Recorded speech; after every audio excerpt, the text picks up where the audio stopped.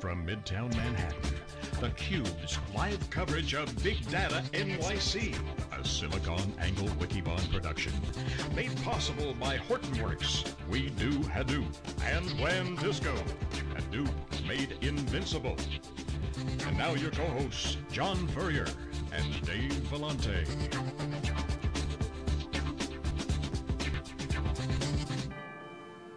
Hi everybody, we're back. This is Dave Vellante of Wikibon with Jeff Kelly. We're here at Big Data NYC, which is our event that we are holding uh, this week. This is our third day. We're down here on 6th Ave at the Warwick Hotel right across the street from the Hilton where Hadoop World and StrataConf are going on. Adam Fuchs is here. He's the CTO of Sqrrl, a longtime CUBE guest, uh, individual who's done a number of great spots with us. Uh, we did one at the Wikibon uh, offices, which we're going to talk a little bit about today because that was the subject of one of his uh, breakout talks. Adam, welcome back to the Cube.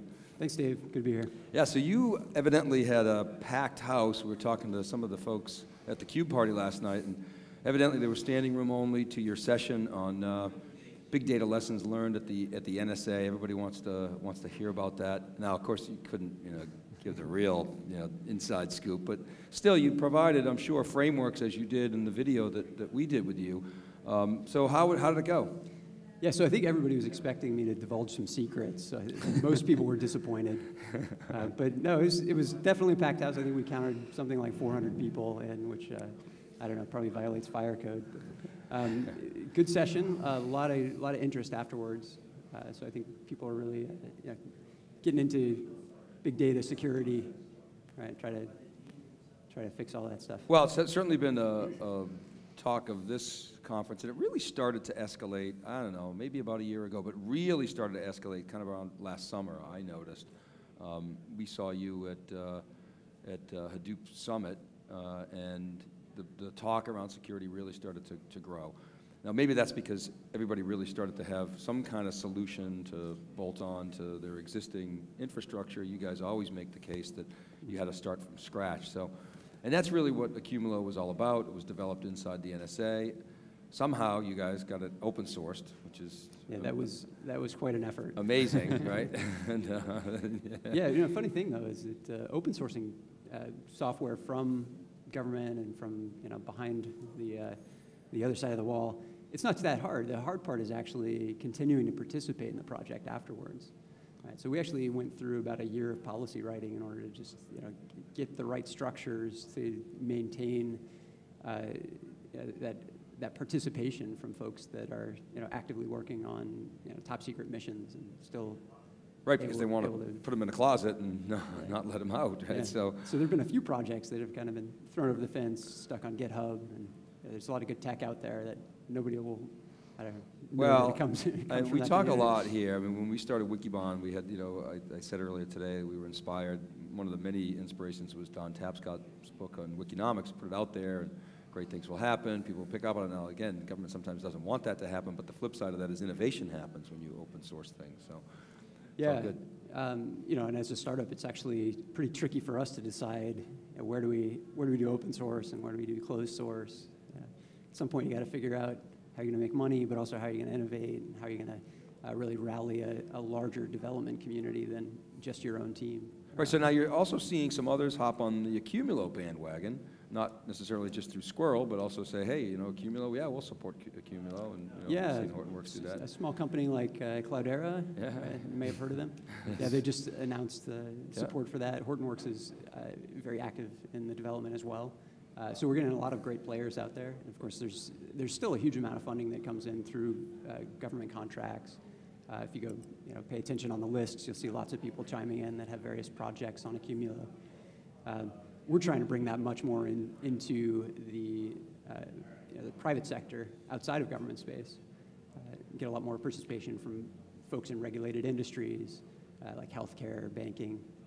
Uh, huge, huge potential for solving the security problems that are out there. So talk a little bit about some of the lessons learned. I mean, again, I know you can't divulge super secrets, but things around scale and just, you know, security practices in general and and, and dealing with you know, diverse data sets and you know, utilizing a, a, key value store. What are some of the things that you talked about in your, in your session and you talked about in the, the video that we did together? Yeah, so the, the core axiom behind all of these lessons learned is that really application development is key for innovation uh, in any kind of organization. And by that I mean, you know, if you can take an idea and encapsulate that in an application that then can be used and can be uh, adopted by a large organization, uh, that application is sort of that nugget of innovation.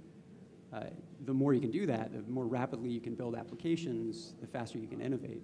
So a lot of these lessons learned, we're talking about you know, how do we avoid barriers to innovation. Um, and you know, the, the, core of the Hadoop community is really focused on that as well. So you know, you've got Hadoop pushing for scalability as a very a central tenet of the overall infrastructure. Uh, you know, you do that because you don't want to hit a point somewhere in the adoption curve where you know, you're not going to have uh, the ability to scale beyond that. Right? So that ability to just continue to scale seamlessly from start to finish, that's one of those core ideas. What kind of questions did you get from the audience? I mean, that, that you can share with us? Yeah, so or that you can answer. everybody's interested in, you know, what's the difference between Accumulo and HBase? Right, we get a, a lot of questions on that. Oh, okay, interesting. Okay, well, let's talk about that. I mean, you and I have talked about that, we but, uh, yeah. but it's worthwhile re reviewing. Right, so um, the two projects actually started around the same time, although Accumulo was a, a closed source project inside of uh, the government uh, for the first few years of its life.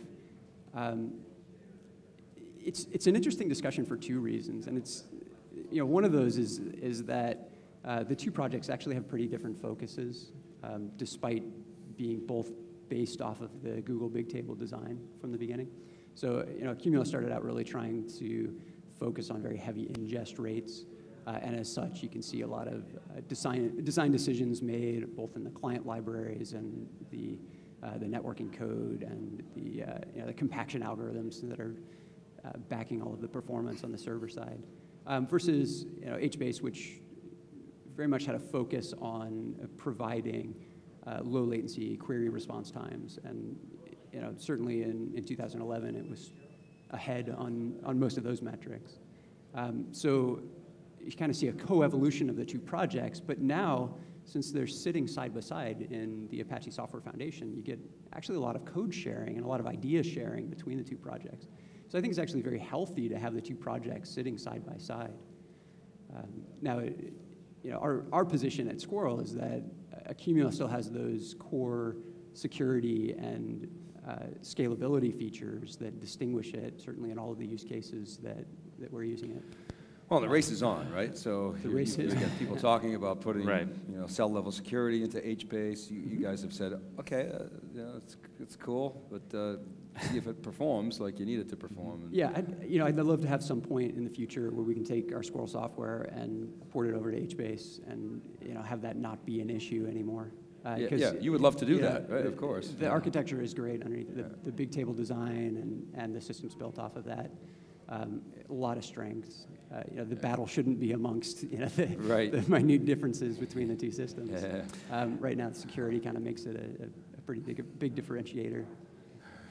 Well, so kind of a related question. We, we talked earlier, earlier today with uh, Jack Norris from MapR, and, and, he made a point about, uh, you know, in the Hadoop space, it's pretty much, pretty much, Hadoop is, has, has uh, emerged really as that de facto um, standard for a you know, big data platform the foundational level anyway. But the NoSQL role is much more up in the air. There's just, he put up a slide, I think, in one of his keynotes with I don't know how many logos of different NoSQL databases. So obviously, uh, Sqrrl is betting on Accumulo, but in your opinion, what is it going to take for you know, one or two or three of these NoSQL databases to kind of win the market, if you will? I mean, or, or maybe is the premise of my question right? Can they all survive? How do you see this uh, kind of uh, playing out, and what are some of those keys that are going to differentiate the, the NoSQL da databases that do thrive from the ones that kind of fade away?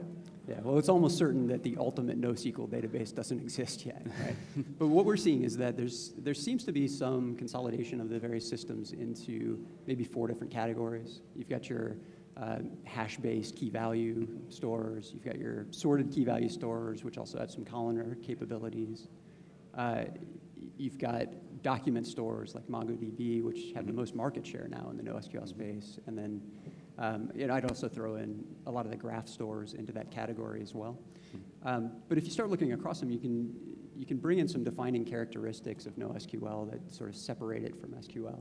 uh, things like low latency, high concurrency, denormalized models of data.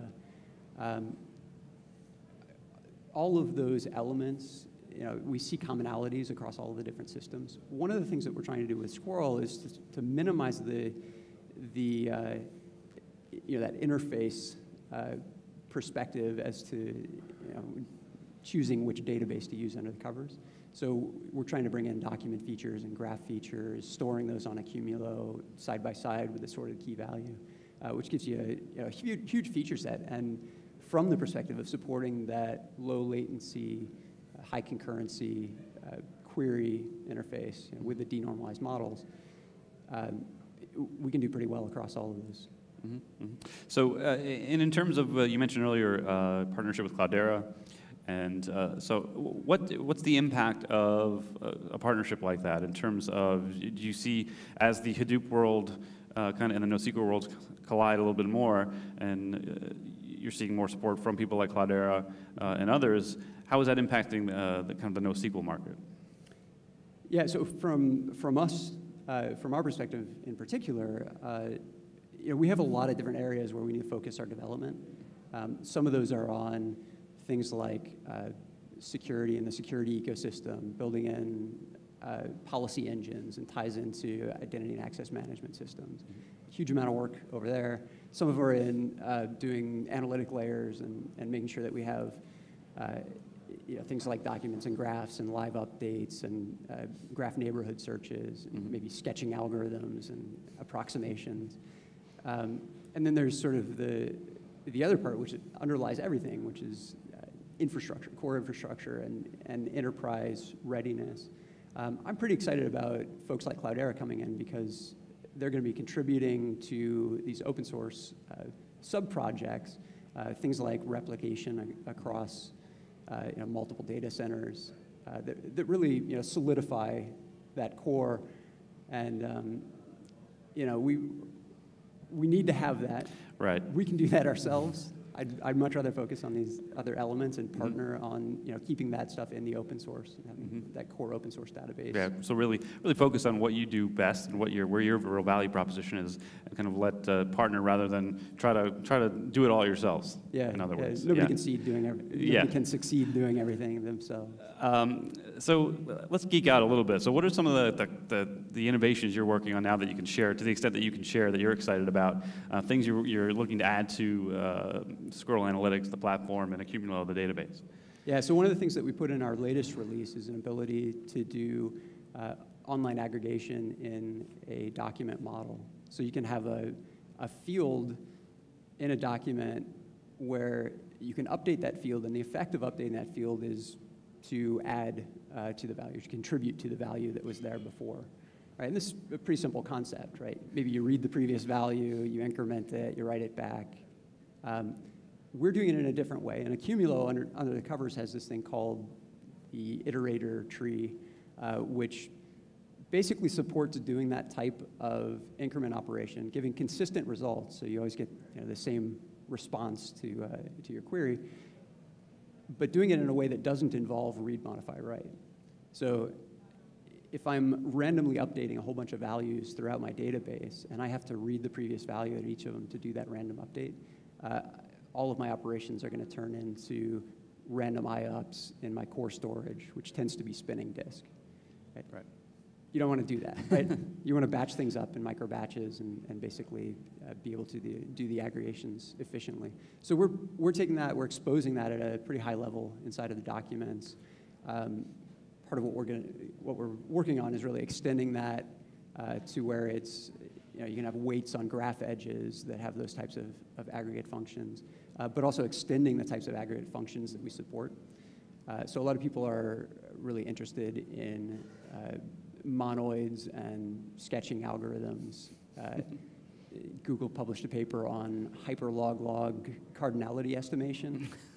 just, just we, a little easy Sunday reading. let, me, let me go a little bit into it. So uh, basically, you know, limited memory footprint, uh, but you know, get a, a, pretty good estimate for uh, things like counts across huge data sets. Mm -hmm. um, so if I take 10 petabytes of data and I want to figure out what's in that, um, I, I, can have a series of sketches that, that tell me what's in that, and I can store those sketches in a much smaller footprint than the original data, as long as I can keep them up to date online. And that's what we're really building in, uh, you know, to our graph, document and graph models. You were talking before about some of the, the problems with spinning disk. Do you see the advent of flash memory changing the, some of the unnatural acts that you had to do as a, as a developer? Um, and, and actually maybe obviating some of the cool things and tricks that you used? That's, that's actually something that we've looked at a lot over the last uh, several years. You know, is, is this data going to be, or is this uh, database technique going to be obsolete?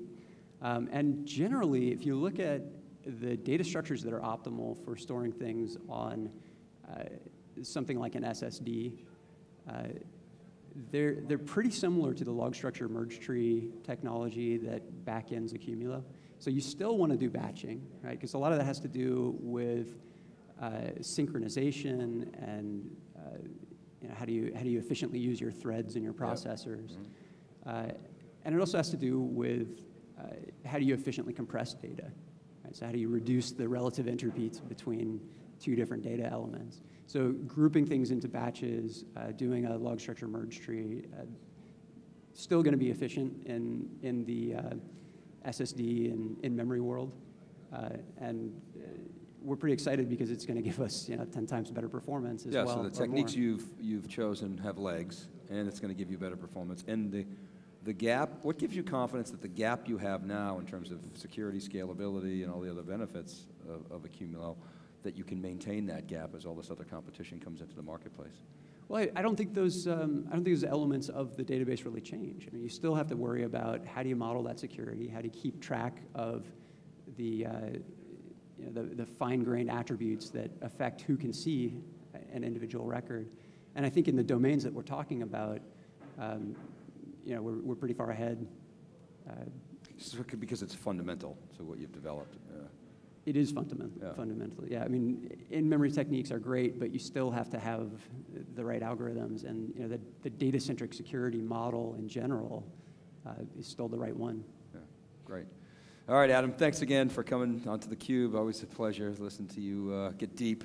And uh, check out the Chalk Talk uh, that, uh, that Adam did. It's uh, called Big Data Lessons Learned at the NSA. If you go to Sqrrl's website, you can see it you got a little, little you got to give your name, address kind of thing, or you can just Google it and you'll find it somewhere. But it's really good. So, uh, so check that out. You got a few videos up there actually that, that you did that were yeah, really helpful. We've, so we've done four so far. We yeah, it was, it was awesome. So kick off some more. Really learned a lot doing those, and uh, and I go back every now and then and review them, and they're and they're quite useful. So for the practitioners out there that just want some you know good advice on how to structure things, it's uh, worth hitting the Sqrrl website or like I say, hit. Uh, hit the SiliconANGLE uh, YouTube page. Okay, Adam, thanks very much for coming on. Uh, Jeff Kelly, thank you for hanging in there with me. And uh, this is theCUBE, right back. We're live from NYC, Big Data, New York City.